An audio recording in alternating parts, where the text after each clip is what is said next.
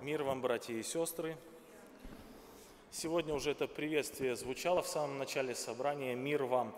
И вы знаете, ну, мне кажется, что вот это приветствие сегодня, оно э, звучит ну, немножко странно.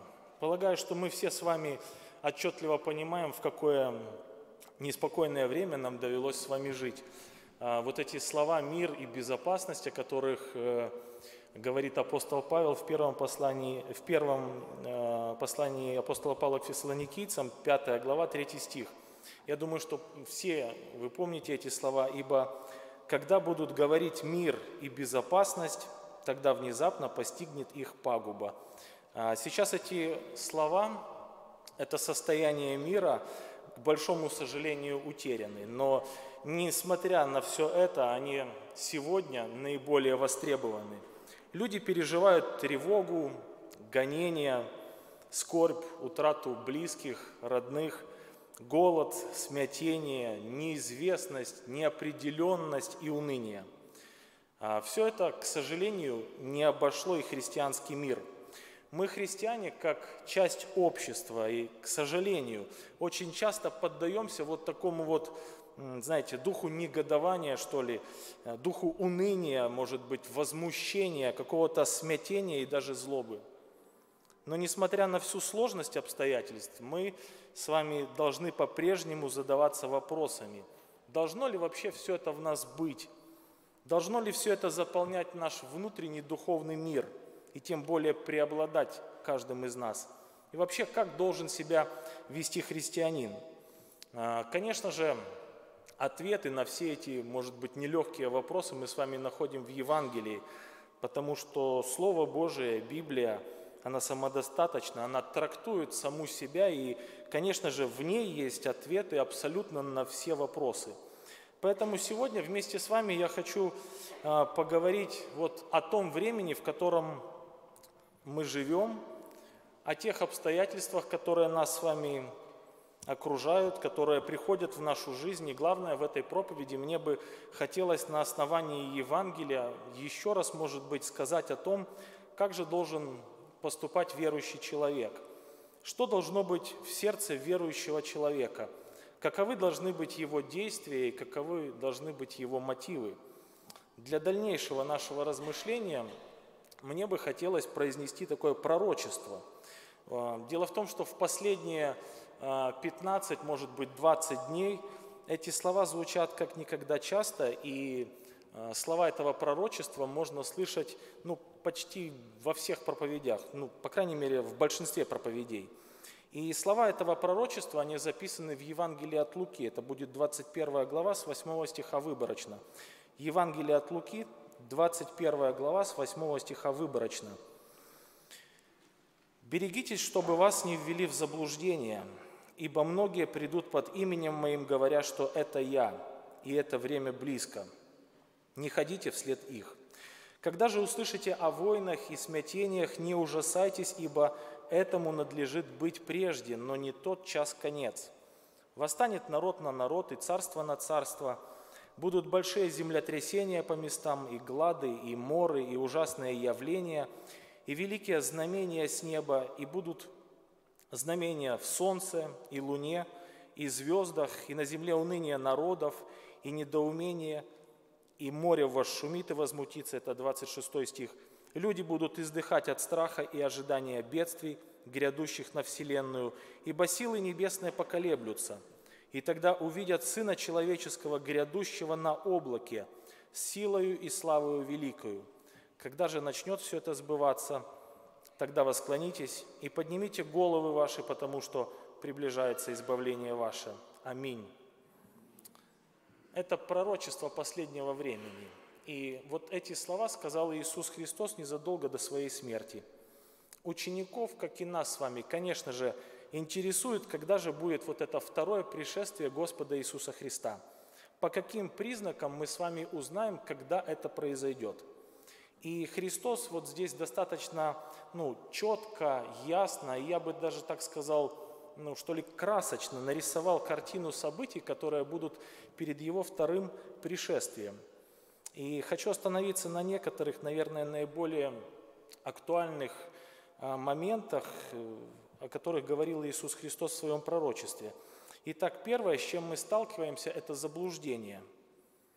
В этот информационный век, в который нам с вами посчастливилось жить, очень сложно найти правду.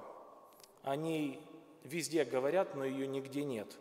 Одно сплошное заблуждение. И знаете, самое страшное, что это заблуждение сегодня присутствует в церкви среди братьев и сестер. Оно как закваска действует со времен Иисуса Христа. А в чем же проявляется вот это заблуждение? Давайте с вами посмотрим на примере сегодняшней церкви. Что происходит в наших домах молитвы? Знаете, самое страшное – что есть сегодня среди нас, так это отсутствие единства в понимании Слова Божьего, в понимании Евангелия. А ведь это основа, это фундамент, на котором строится и стоит наша вера, вера в Господа Иисуса Христа.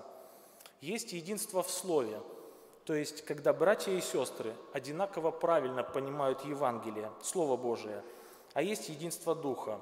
Это когда братья и сестры в большинстве случаев одинаковые во взглядах, одинаковы в каких-то определенных решениях, и, конечно же, они будут едины в понимании Евангелия. На современном таком, наверное, молодежном сленге это звучит как «быть на одной волне». Мы молимся о том, чтобы Господь Бог послал нам вот это единство. Но оно, братья и сестры, знаете, не придет, пока мы с вами сами не захотим, чтобы оно было. Послание апостола Павла к Ефесинам, 4 глава, первые три стиха. Умоляю вас поступать достойно звания, в котором вы призваны, со всяким смиренномудрием и кротостью и долготерпением, снисходя друг к другу любовью, стараясь сохранять единство Духа в союзе мира. Я ни в коем случае не умоляю а, значение, важность и силу молитвы, но молиться и просить Господа о единстве, и при этом не любить друг друга, при этом не принимать друг друга, не снисходить друг к другу с кротостью. Ну, то, братья и сестры, я извиняюсь, может быть, за такое выражение, но, знаете, такие молитвы, они, как правило, до потолка. Почему мы молимся об одном, а поступаем по-другому? Почему в нашей жизни нет вот этого снисхождения к другим людям? Почему в нашей жизни нет э, принятия другого человека, нет принятия другого мнения, также нет кротости и смирения? Почему мы с вами читаем Слово Божие вот так вот сквозь пальцы, вырывая слова из контекста? Эти вопросы сегодня каждому из нас. 1 Тимофею 4 глава 7 и 8 стихи. «Негодных же и бабьих басен отвращайся, а упражняй себя в благочестии, ибо телесное упражнение мало полезно, а благочестие на все полезно, имея обетование жизни настоящей и будущей». А вот это было следующее заблуждение – о котором мы должны сказать. И да простят меня все сестры, но это слова апостола Павла. «Негодных же и бабьих басен отвращайся». Скажите, пожалуйста, о чем здесь идет речь? Что это за так называемые бабьи басни? И вот здесь мы с вами должны вернуться снова к единству, а именно к единству в правильном понимании Евангелия – когда нет вот этой основы, когда нет правильного понимания Слова Божьего, тогда, к сожалению, и появляются вот такие вот бабьи басни, когда проповедник, например, может выйти за кафедру и проповедовать не Слово Божие, а какие-то, какое-то свое, знаете, такое видение на жизнь. А, вот так надо поступать, так поступаю я. И так, может быть, поступали сто лет тому назад, поэтому и нам нужно этого придерживаться – все это можно озаглавить одним словом – недальновидность. Это отсутствие видения в свете Слова Божьего и неспособность человека смотреть дальше, чем свой собственный нос. Это касается жизненной позиции, и это касается, конечно же, Слова Божьего. И об этом самое интересное, об этом проповедовал и говорил Иисус Христос. Мы об этом читаем в Евангелии от Марка, 7 глава, 6 и 7 стихи. Марка, 7 глава, 6-7 стих.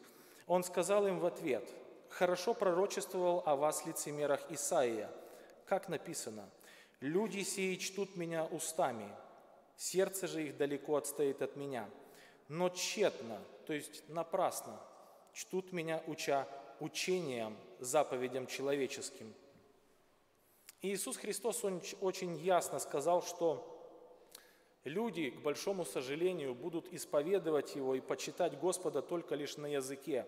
При этом будут учить вот этим человеческим постановлениям, человеческим заповедям. Давайте с вами посмотрим вокруг, насколько, насколько Евангелие вообще и наша вера в единого Бога, Отца вообще всего видимого и невидимого, обросла чем-то таким человеческим, какими-то отцовскими преданиями, какими-то непонятными формами. И все это стало, знаете, такой традицией, говоря как раз-таки вот языком апостола Павла, бабьими баснями. Марка 7 глава, 8 стих. «Ибо вы, оставив заповедь Божию, держитесь предания человеческого». Это говорит Иисус Христос. О каком же предании идет речь, братья и сестры? Если прочитать этот стих немножко дальше, то мы с вами видим, что Иисус Христос вот в этом месте говорит именно о Моисеевом законе, об омовении кружек и чаш. Но знаете, человек и на этом не останавливается. И мы с вами прекрасно знаем, сколько было на самом деле заповедей а, у израильского народа. Это было отнюдь не 10 заповедей, да? Мы все помним это количество. И сегодня Сегодня то же самое происходит. Сегодня освещается абсолютно все. И если мы с вами думаем, что речь идет, например, о православной церкви, то мы глубоко заблуждаемся. Сегодня, как я уже сказал, в церкви существует масса каких-то постановлений, предписаний, каких-то непонятных действий, возведенных в ранг таких обрядов. И все это, знаете, оно неприкасаемо, оно свято. Ведь так поступали до нас, поэтому и мы будем так делать. Как будто, знаете, как будто всем вышеперечисленном говорит нам Евангелие. Но вот если действительно не вникать в это самое Евангелие, то, конечно же, можно сложить руки и соглашаться со всем тем, что мы слышим иногда из кафедры. Поэтому вместо развития, к сожалению большому, опять же повторюсь, церковь медленно, но уверенно деградирует, обрастая чем-то человеческим, земным – Почему же так происходит? Ответ, с одной стороны, очевиден и, наверное, может кому-то показаться слишком простым. Потому что человек не свободен, он порабощен и обременен вот всей этой системой богопоклонения. А где же свобода, о которой говорил все тот же апостол Павел? И при этом эта свобода, она не только у евреев, она и у нас – где же эта свобода? Где поклонение в духе и истине? И об этом пишет также апостол Павел. Смотрите, второе послание к Коринфянам, 3 глава, 17 стих. «А где Дух Господень, там свобода». Там, братья и сестры, нет системы, там нет правил, там нет предписаний, нет постановлений, которые принуждают человека к такому вот бездушному богопоклонению. Там свобода в отношениях с Господом. И когда мы с вами читаем Евангелие, то мы с вами находим слова Иисуса Христа. Он как раз-таки об этом учил, он об этом проповедовал, и он об этом старался как-то, ну, эту идею донести до людей, до сердец людей. Марка 7 глава, все тот же 8 стих, вторая часть и 9 стих. «И делаете многое другое, сему подобное». И сказал им, Хорошо ли, что вы отменяете заповедь Божию, чтобы соблюсти свое предание? Хорошо ли мы сегодня с вами делаем, когда выворачиваем вот так вот Евангелие наизнанку и соблюдаем что-то свое, человеческое, придуманное? Правильно ли, когда Евангелие обрастает вот всей такой вот шелухой? Луки 21 глава, 8 стих. «Берегитесь, чтобы вас не ввели в заблуждение – Ибо многие придут под именем Моим, говоря, что это Я, и это время близко. Не ходите вслед их. Знаете, большое заблуждение, братья и сестры, если мы с вами думаем, что придут такие люди, которые будут называть себя Христом и при этом ничего не будут делать. На самом деле такие люди будут, и, но они не просто будут существовать, они еще будут говорить, они будут учить, но будут говорить и учить свое, человеческое, но никак не Слово Божие, никак не Евангелие. И у таких лжехристов, что тоже, к сожалению, будет масса поклонников. Опять же, именно потому, что люди недальновидны. Ведь Евангелие сегодня не популярно, как бы это страшно ни звучало. Гораздо интереснее слушать вымыслы человека, что-то такое земное, может быть, бытовое. И Иисус Христос предупреждает, что мы, чтобы мы с вами вот в это последнее время держались подальше от такого учения и написано, чтобы не ходили вслед их. Это первое, о чем говорил Иисус Христос – заблуждение. Следующее, что характеризует время перед вторым пришествием Иисуса Христа, и это тоже сегодня для нас с вами актуально, это войны и военные слухи. Знаете, все было хорошо, но вот произошло то, что произошло в соседней стране. Это война. И верующие люди сразу же заговорили о последнем времени – Удивительно, как быстро человек пришел в себя и заговорил об этом последнем времени. А почему же только сейчас мы заговорили о последнем времени? Почему сейчас эти слова стали так актуальны? Неужели война произошла только сейчас? Неужели вообще войны, военных слухов не было до этого? Э, несколько собраний, если вы помните тому назад, э, здесь уже говорили о том, что война как раз-таки началась с того момента, когда Э, Каин убил Авеля. Это так и есть. Но в этой проповеди я предлагаю совсем на немножко посмотреть назад в историю. Э, по подсчетам ученых за последние 56 веков на Земле произошло порядком 14,5 тысяч войн и военных конфликтов, в которых погибло, вот только вдумайтесь в эту цифру, более 3,5 миллиардов человек – Самыми крупными вооруженными конфликтами, и мы эти конфликты учили в школе когда-то, помним их э, со школьной скамьи, это были греко-римские войны, это были завоевания Александра Македонского, это были крестовые походы, Столетняя война. Если мы возьмем немножко ну, уже ближе к нам, это, конечно, была Первая мировая война и Вторая мировая войны.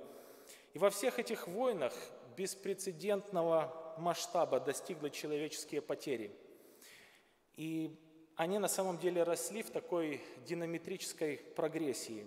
И вот если в 17 веке такие потери составляли порядка 3,5 миллионов человек, то в 20 веке такие потери были уже свыше 50 миллионов человек.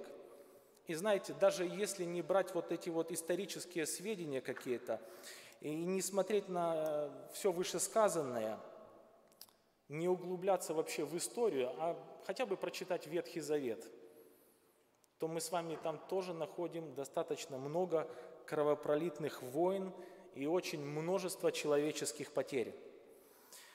К большому сожалению, война является неизменной спутницей человеческой истории. До 95% всех известных нам цивилизаций и обществ прибегали к ней для разрешения внешних или же внутренних конфликтов. Как мы с вами видим, военных потрясений было предостаточно. Но почему именно сейчас, почему именно в это время, особенно христиане, заговорили об этом вот последнем времени? Все из-за того, что все вышеперечисленные войны происходили где-то там, настолько далеко, что нас там с вами не было. А сейчас вот эта война происходит в 100-километровом удаление от нас, а где-то, наверное, и того меньше. Вот народ Божий поэтому и опомнился, что живет-то, оказывается, в последнее время. Но знаете, это еще не все.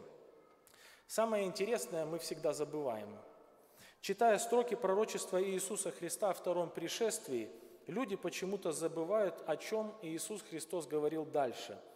Луки 21 глава 8 стих. «Когда же услышите о войнах и смятениях, не ужасайтесь, ибо этому надлежит быть прежде, но не тот час конец. Братья и сестры, если мы с вами думаем, что это уже все, финиш, это конец, то это на самом деле только начало. Говоря о войнах и о военных слухах, Иисус Христос делает акцент на двух важных моментах. Первое, и мы об этом с вами уже сказали, это еще не конец. И второе, Иисус Христос просит, чтобы мы, когда услышим вести о войнах, о военных слухах, чтобы мы с вами не ужасались. Вот эти две важные истины. Это еще не конец, и не ужасайтесь.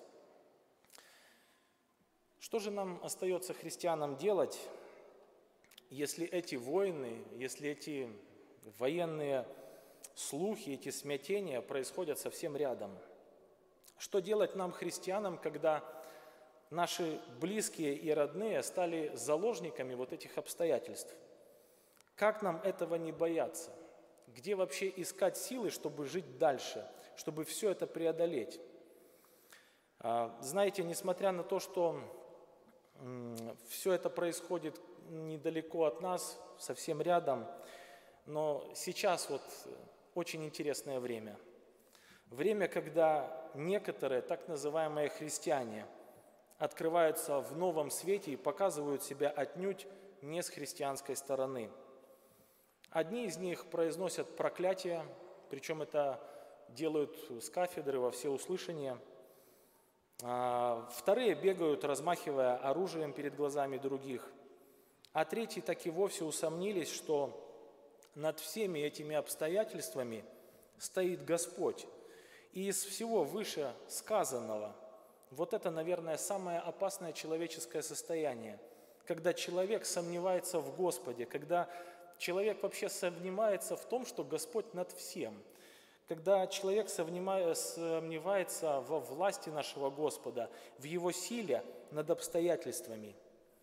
И знаете, когда все это видишь, когда все это слышишь, когда с этим иногда напрямую сталкиваешься, то отчетливо понимаешь, что вот здесь-то все наше христианство и закончилось. На этом конец.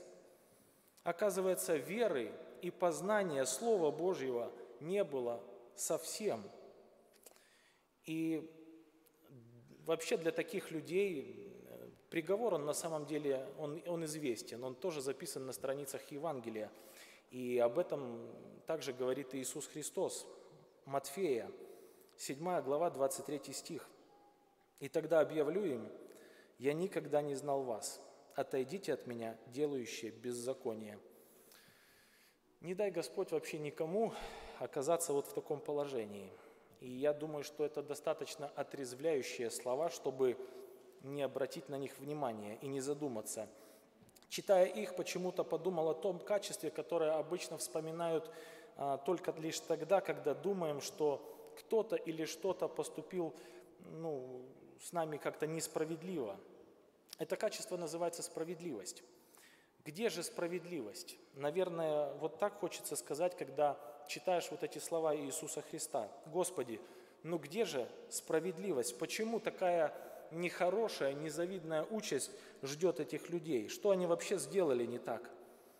Знаете, Новый Завет не только предъявляет к нам, христианам, высокие требования, но и многократно предупреждает об опасности духовного самообмана, подмены понятий и маловерия в силу и могущество Господа Иисуса Христа. Так как же правильно поступать христианам? Что делать вот в таких вот сложных обстоятельствах жизни? Конечно же, ответ на все эти вопросы мы находим в Евангелии, только в Евангелии. И знаете, эти слова мне почему-то врезались в память, и я бы хотел, чтобы они остались всем нам для такого общего нашего ободрения и назидания. Записаны они в послании апостола Павла к Ефесянам, это 6 глава, 10 стих, Ефесянам 6.10. «Наконец, братья мои, укрепляйтесь Господом и могуществом силы Его». Вот самый простой совет, который дает апостол Павел, будучи, конечно же, вдохновлен Духом Святым. «Наконец, братья мои, я думаю, что и сестры тоже, укрепляйтесь Господом и могуществом силы Его». Вот и весь совет – но скажите, как укрепляться, когда зло совсем рядом? Как укрепляться, когда нет ни физических, ни духовных сил? Как укрепляться, когда страдают и умирают ни в чем не повинные люди, иногда даже наши близкие люди? Как укрепляться, когда в людях живет зло и ненависть? Как укрепляться, когда кругом столько несправедливости? Где вообще на все это брать силы? И как вообще христианину, человеку жить дальше. И смотрите, апостол Павел продолжает дальше. И он дальше рекомендует каждому из нас некоторые действия. Это же послание апостола Павла к Ефесянам, 6 глава, но уже с 11 стиха по 13. «Облекитесь во всеоружие Божие, чтобы вам можно было стать против козней дьявольских, потому что наша брань не против крови и плоти, но против начальств, против властей, против мироправителей тьмы века сего, против духов злобы поднебесных.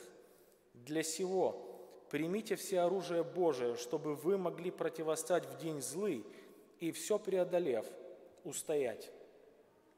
Итак, первое, с чего начинает апостол Павел, это наставление – он просит Ефесскую церковь, а в ее лице и все будущие поколения христиан, переживающие такие вот тяжелые времена, чтобы мы с вами были сильными. Конечно же, не дай Господь никому быть в каких-то опасных обстоятельствах жизни и тем более переживать войну и такие вот нехорошие какие-то моменты или еще что-то плохое. Но Евангелие, оно, братья и сестры, нам для этого и оставлено, чтобы мы с вами руководствовались им, несмотря ни на что, и знали, что наше с вами упование, оно на Господа и только в Господе. Другими словами, апостол Павел просит воодушевиться и укрепиться, но сделать это, не глядя на свои собственные силы, может быть, какие-то знания или же умения – а воодушевиться и укрепиться Господом. Ведь, согласитесь, всегда есть много того, что ослабляет нас, что приводит нас к маловерию и малодушию, и не дает нам вот этой возможности противостоять всем козням и хитростям врага душ человеческих. Апостол Павел добавляет, «Укрепляйтесь ни в ком ином, как в Господе и только в Нем». И в качестве такого объяснения этих слов он сразу же добавляет «укрепляйтесь в могуществе силы Его». Вот это уточнение, оно способствует нашему с вами укреплению в Господе. Ведь наш Господь, Он действительно велик и силен. И в Его власти находится абсолютно все, абсолютно все обстоятельства. И не помню это место, где записано, и в Его руке даже сердце царя – что же нужно для того, чтобы укрепиться в Господе? Опять же, несколько советов от Павла. Первое. Облекитесь. Другими словами, оденьтесь. Оденьте на себя Слово Божие. Растворите его в себе. Пребывайте в нем постоянно, и тогда будут силы и правильное понимание всего происходящего вокруг.